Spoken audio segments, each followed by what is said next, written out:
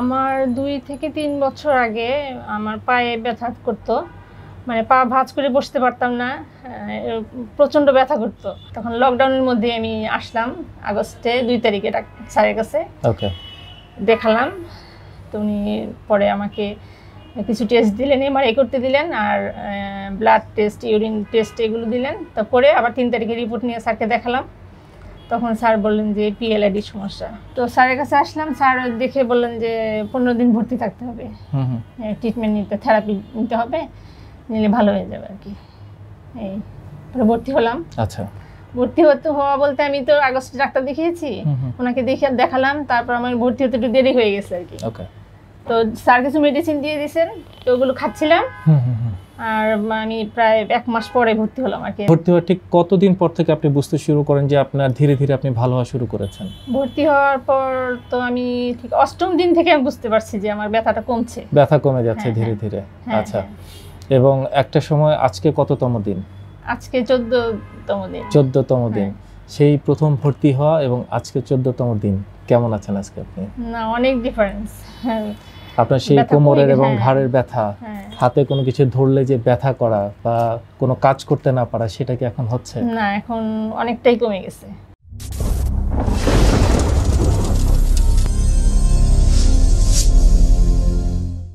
আসসালামু আলাইকুম। দর্শক কেমন আছেন আপনারা? আশা করি সবাই ভালো আছেন এবং সুস্থ আছেন। দর্শক, আপনাদের অসংখ্য অসংখ্য ভালোবাসা আমরা পাই প্রতিনিয়ত। আপনারা যে আমাদের এস এম এসগুলো করেন, আমাদেরকে যে ফোনগুলো করেন, তখন আপনারা আমাদের কাছ থেকে অনেকেই অনেক ধরনের প্রশ্ন করেন এবং অনেকেই অনেক কিছু জানতে চান এবং অনেকেই অনেক ভালো ভালো কিছু ফিডব্যাক আমাদেরকে দেন। আমাদের ভিডিও ডিসক্রিপশনে দেওয়া যে ভিডিওগুলো আছে, সেই ভিডিওগুলো দেখে অনেকেই এখন অনেক ভালো আছেন, সুস্থ আছেন। কিছুক্ষণ আগেই একজন ফোন করে মাত্র বললেন যে ওনার প্রায় সাত থেকে আট বছরে ওনার ব্যাক পেইন ছিল।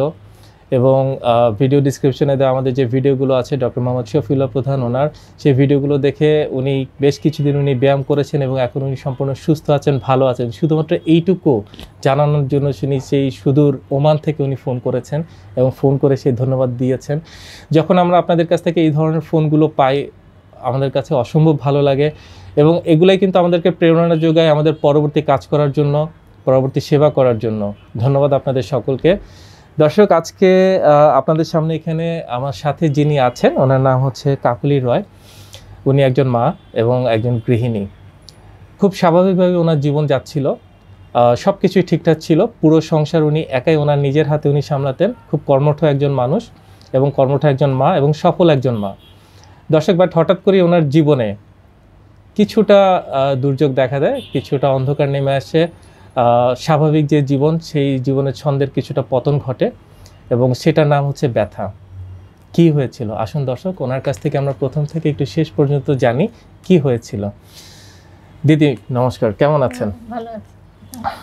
আমাদের দর্শকদের জন্য যদি একটু বলেন যে ঢাকায় কোথায় থাকেন? ঢাকায় থাকি আমি হাজারিবাগে। হাজারিবাগে হ্যাঁ। খুব প্রসিদ্ধ একটি জায়গা হাজারিবাগ। আহ, আমাদের দর্শকদের জন্য যদি একটু বলেন কি হয়েছিল এবং সেটা কতদিন আগে? আমার দুই থেকে তিন বছর আগে আমার পায়ে ব্যথা করতো। মানে পা ভাঁজ করে বসতে পারতাম না আহ, প্রচণ্ড ব্যথা করতো। তখন আমি দুই পা না এক পা? দুই পায়ে। আচ্ছা এর আগে কি কোনো সমস্যা বা কোনো কিছু ছিল না এর আগে তেমন হঠাৎ করে এরকম ব্যথা হঠাৎ করে একদিন দেখছেন- এমনি অসুস্থ ছিলাম তার। মধ্যেই ব্যথাটা শুরু হলো আর কি। আচ্ছা। তখন আমাদের যে যিনি ফ্যামিলি ডক্টর যাকে দেখাই সবসময় ওনার কাছে গেলাম। তো উনি ওষুধ দিলেন তো ওগুলো খেলাম খাওয়ার পর হয়তো দেখা যায় একটু ভালো। তারপর আবার বেড়ে যায় তা আবার যাই ওনার কাছে আবার ওষুধ দেয়।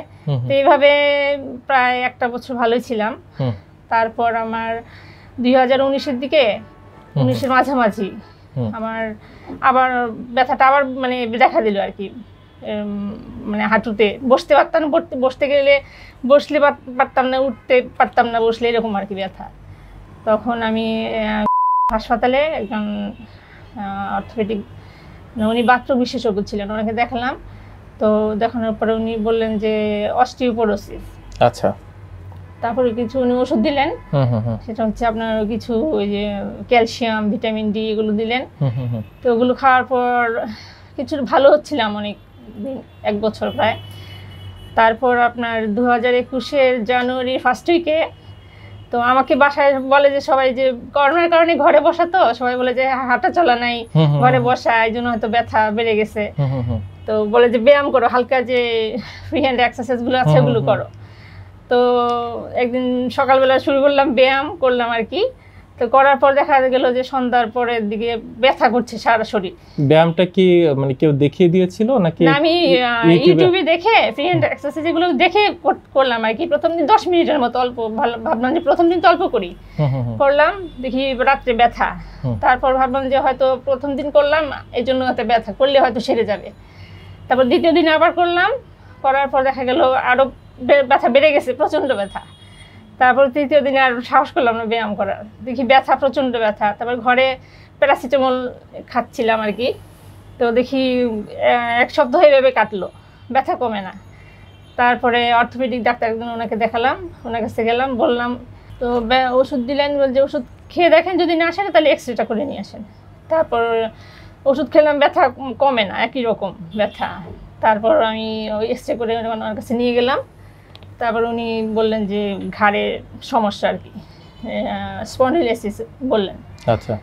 বললেন তারপরে ওষুধ কিছু দিলেন বলছে খান দেখেন। আর উনি সাজেশন দিলেন যে ইয়ে করতে থেরাপি নেওয়ার জন্য আচ্ছা। ফিজিওথেরাপি নেওয়ার জন্য। আচ্ছা। তারপর আমি ওই যে হাসপাতালে ওখানে গেলাম থেরাপির জন্য। তো ওখানে যাওয়ার পর ওনারা দেখে বললেন যে বিশ একুশ দিন নিতে হবে থেরাপি তারপর ওখানে থেরাপি শুরু করলাম। থেরাপি নিচ্ছি। চোদ্দ পনেরো দিন নিলাম তারপরে আবার যে করোনা ভাইরাসের বেড়ে গেল। তারপরে ওই বাসা থেকে না করতেছে এই সময় যেতে আর কি হাসপাতালে। তো আমি ষোলো দিন ওখানে নিয়েছি থেরাপি মানে ব্যথা যন্ত্রণা সহ্য করতে পারছেন না হ্যাঁ, আবার হ্যাঁ। হচ্ছে যে যেহেতু হ্যাঁ। করোনার প্রকোপ বেড়ে গেছে প্রকোপ বেড়ে গেছে আবার বাসা থেকে মানা করতেছে যে এখন স্টপ করো পরে আবার দেখা আচ্ছা। যাক পরে তো এইভাবে আমি ষোলো দিন থেরাপি নিলাম ষোলো দিন নিয়ে- নিয়ে তো পরে আর যাইনি আর কি বাট সেই ষোলো দিনের রেজাল্ট কি ছিল? রেজাল্ট হ্যাঁ একটু মোটামুটি একটু ভালো হয়েছিল। একটু ভালো লাগছিল। হ্যাঁ একটু ভালো আচ্ছা। লাগছিল। ওকে।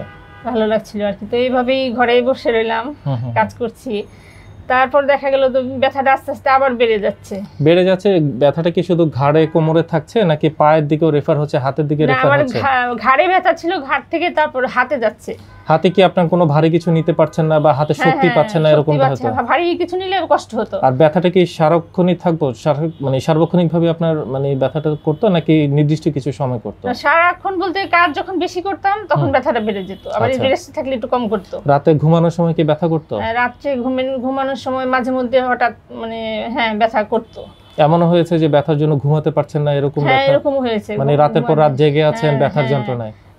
ঘুমাতে পারিনি ব্যথা নিয়ে যন্ত্রণা নিয়ে শুয়ে থাকতাম আর আপনি জেগে থাকা মানে পরিবারের অন্য সদস্যরাও জেগে থাকা কারণ হ্যাঁ, আপনি হ্যাঁ। কষ্টে আছেন তারাও তো ভালো হ্যাঁ লাগে না হ্যাঁ সবারই বাসায় টেনশন আমাকে নিয়ে এই অবস্থা আচ্ছা তারপরে কি হলো তারপর ব্যথা বেড়ে গেল হাতে আসতেছে মানে তারপর পিঠে পুরা পিঠে আর জ্বালা পোড়া ছিল পিঠে ব্যথা আচ্ছা। প্লাস জ্বালা পোড়া। তো এরকম অবস্থা। তারপরে আমি মানে হাত দিয়ে যে কিছু কাটবো সবজি কাটবো ছুরি নিয়ে মানে হাতে প্রেশারই দিতে পারছি না। এত- হাতে এত প্রচণ্ড ব্যথা। এমন অবস্থা। মানে মানে সংসারের কাজকর্ম সব কিছু একেবারে কিছুই করতে পারতেছি না এমন অবস্থা। তার মধ্যে আবার এর মধ্যে আবার শাড়ির ভিডিওগুলো দেখতেছি আমি। দেখে দেখে ভাবি যে আসব আবার যে করোনার জন্য প্রকোপ বেড়ে যাচ্ছে না পরে ভাবছি যে একটু কমুক পরে যাব। এই করতে করতে একটু দেরি হয়ে গেছে আর কি। তারপরে এর মধ্যে আমি আমার বাসা চেঞ্জ করলাম। তো। ওই কারণে বাসা চেঞ্জ করার কারণে তো কিছু তো কাজ করতে হয়েছে। তো ওই কারণে ব্যথা আরও বেড়ে গেছে। আচ্ছা। বেড়ে গেছে তারপর বাসায় নতুন বাসায় যাওয়ার পর পরে ভাবলাম যে এমন অবস্থা মানে কোনো কাজই করতে পারতেছে না। তারপর ভাবলাম যে না আমার আর অপেক্ষা করা যাবে না আমি এই তখন লকডাউন চলছিল। তখন লকডাউনের মধ্যে আমি আসলাম আগস্টে দুই তারিখে স্যারের কাছে।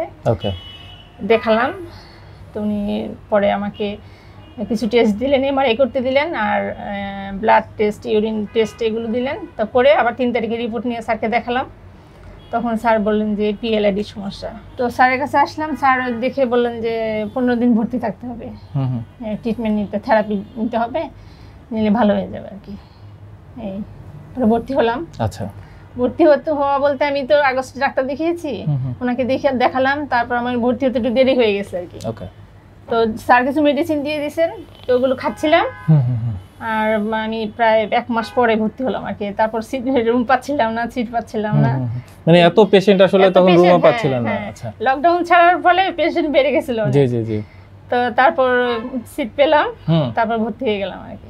আচ্ছা তো সেই অনুযায়ী যখন ভর্তি হলেন প্রথম ট্রিটমেন্ট শুরু হলো। হ্যাঁ। এবং স্যারকে যখন আপনি দেখেছেন স্যারকে এমন কিছু আপনাকে বলেছেন যে আপনি ভালো হয়ে যাবেন বা এমন কিছু বা এটা কোনো সমস্যাই না এটা অবশ্যই আপনি ঠিক হয়ে যাবেন এমন হ্যাঁ কিছু স্যার স্যার? বলেছেন যে পনেরো দিন আচ্ছা। ট্রিটমেন্ট নিলে ভালো হয়ে যাবে। তো সেই আশ্বাসে আপনি ভর্তি হয়ে যান হ্যাঁ। ভর্তি হওয়ার ঠিক কতদিন পর থেকে আপনি বুঝতে শুরু করেন যে আপনার ধীরে ধীরে আপনি ভালো হওয়া শুরু করেছেন? ভর্তি হওয়ার পর তো আমি ঠিক অষ্টম দিন থেকে আমি বুঝতে পারছি যে আমার ব্যথাটা কমছে। ব্যথা কমে যাচ্ছে ধীরে। ধীরে। আচ্ছা। এবং একটা সময় আজকে কততম দিন? আজকে চোদ্দতম দিন। চোদ্দতম দিন। হ্যাঁ। সেই প্রথম ভর্তি হওয়া এবং আজকে চোদ্দতম দিন। কেমন আছেন আজকে আপনি? না অনেক ডিফারেন্স আপনার সেই কোমরের এবং। ঘাড়ের ব্যথা হ্যাঁ। হাতে কোনো কিছু ধরলে যে ব্যথা করা বা কোনো কাজ করতে না পারা সেটা কি এখন হচ্ছে? না এখন অনেকটাই কমে গেছে। এই যে দিনের পর দিন ট্রিটমেন্ট করেছেন ভালো হচ্ছে না বরঞ্চ ব্যথা আরও বেড়ে যাচ্ছে। হ্যাঁ হ্যাঁ। তখন কি কখনো মনে হতো না যে আমি হয়তো আর আগের স্বাভাবিক জীবনে ফিরে যেতে পারব না? এই ধরনের চিন্তা কখনো মনে হ্যাঁ না? অবশ্যই চিন্তা হতো যে আর কি কোনোদিন ভালো হব না এইভাবে থাকতে হবে এটা ভেবে মন খুব খারাপ হতো ব্যথার যন্ত্রণায় যখন সারা রাত হ্যাঁ। জেগে আছেন কান্না করতেন ব্যথায়? হ্যাঁ ব্যথা হ্যাঁ কান্না করতাম হয়তো ওইভাবে না নিজে নিজে ভিতরে কাউকে বুঝতে দিতাম না সবাই টেনশন করে এমনিতে আমি বাসার সবচেয়ে হ্যাঁ, কাছের মানুষ সবচেয়ে হ্যাঁ, আপন হ্যাঁ। মানুষটা যখন। কষ্টে এটা কেউ সহ্য করতে পারে না নিজে নিজে কষ্ট সহ্য করতাম আর কি ভিতরে আর তারপরেও কাজ করতে হতো সংসারের কাজ তো করতে হয় না করলে তো চলবে না এই ব্যথা নিয়ে নিয়ে কষ্ট করে করে কাজ করেছি পুরো সংসারের সবাইকে দেখভাল করেছেন সবকিছু করেছেন। কাউকে বুঝতে দেননি ব্যথাটা নিজেই সহ্য হ্যাঁ, করেছেন একা। একা বাট এই যে আজকে ব্যথামুক্ত একটা জীবন। আবার আপনি আপনার সেই আপন পরিবেশে ফেরত যাবেন। আবার সবার জন্য সব কিছু করবেন। সবাইকে নিজ হাতে সব কিছু করে দিবেন আপনি। হ্যাঁ। কেমন লাগছে আপনার কাছে? না এটা তো খুবই ভালো লাগছে। এখন মানে ব্যথা সহ্য করেছি এতদিন। এখন ব্যথা নাই শরীরে এখন তো খুবই ভালো লাগছে। আপনার কি মনে হচ্ছে না যে আপনি আরও দশটা মানুষ যেটা করেন অনেকে চিকিৎসা করতে করতে গিয়ে একটা সময় হাল ছেড়ে দেন? আপনি হাল ছাড়েননি আপনি চেষ্টা করে গেছেন আপনি হ্যাঁ, ট্রিটমেন্টের জন্য সেটা আজকে সফল হয়েছে। হ্যাঁ এবং আপনার চেষ্টা করাটা সত্যি সত্যি আপনার জন্য ফলপ্রসূ হয়েছে। হ্যাঁ। আমাদের দর্শকরা যারা এই মুহূর্তে হয়তো আপনাকে দেখছেন পুরো পৃথিবী থেকে যত মানুষ এই মুহূর্তে হয়তো আপনার এই ভিডিওটা দেখছেন অনেকেই আছেন তাদের ভিতরে হয়তো এই ধরনের সমস্যাটা ভুগছেন। তারা জানেন না কোথায় গেলে একটা ভালো ট্রিটমেন্ট পেতে পারবেন। তাদের জন্য যদি আপনি কিছু বলেন। আমি দর্শকদের জন্য এটাই বলব যে, যারা এই ধরনের সমস্যায় ভুগছেন, আর যারা এই ইউটিউবের মাধ্যমে এখানকার ডিপিএসসি হাসপাতালের সন্ধান পেয়েছেন বা জানতে পেরেছেন, তারা মানে ব্যথা, কষ্ট সহ্য না করে তারা চলে আসেন ডিপিআরসি হাসপাতালে এবং স্যারের সাথে দেখা করেন। স্যার খুব যত্ন সহকারে রোগী দেখেন। সময় নিয়ে খুব ভালো, স্যার। আপনারা আসেন, এসে ট্রিটমেন্ট নিয়ে সুস্থ হয়ে যান, বাড়ি ফিরে যান, এইটাই বলব। দর্শক, আমাদের একজন, দুজন বোন না, এরকম অসংখ্য অসংখ্য মা বোন, ভাই আছেন।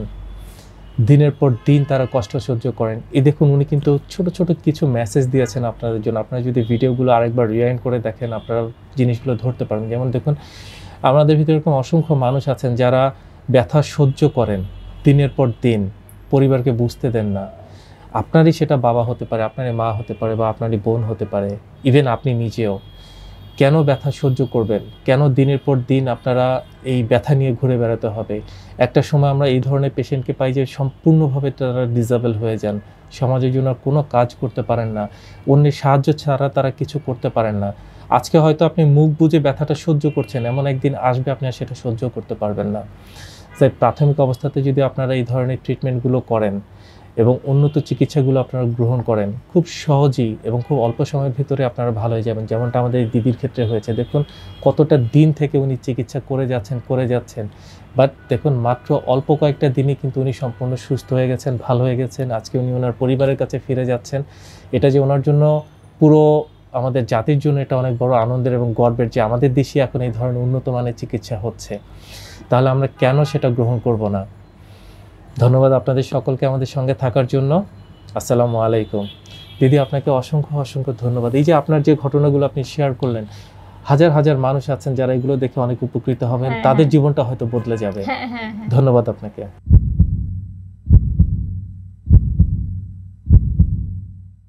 দীর্ঘজীবী হওয়ার প্রথম পদক্ষেপই হচ্ছে সুস্বাস্থ্য নিশ্চিত করা।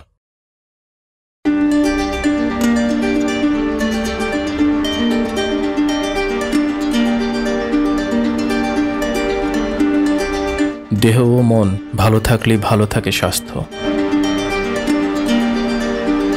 আমাদের রয়েছে আধুনিক যন্ত্রপাতি। সঠিক ও স্ট্যান্ডার্ড মানের প্যাথোলজি পরীক্ষার নিশ্চয়তা। আমরা রোগীদের প্রতি খুবই যত্নশীল ও আন্তরিক।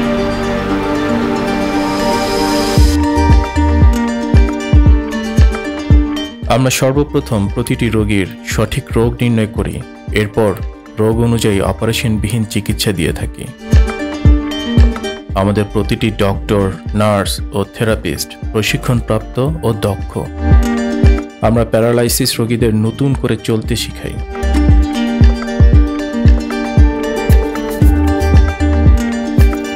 আমরা আপনাকে সর্বোচ্চ মানসম্মত আধুনিক চিকিৎসা সেবা প্রদানের নিশ্চয়তা দিচ্ছি।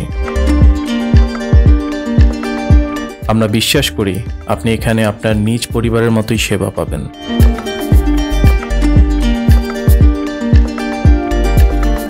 বাত ব্যথা প্যারালাইসিস ও আর্থ্রাইটিসের একটি নির্ভরযোগ্য প্রতিষ্ঠান।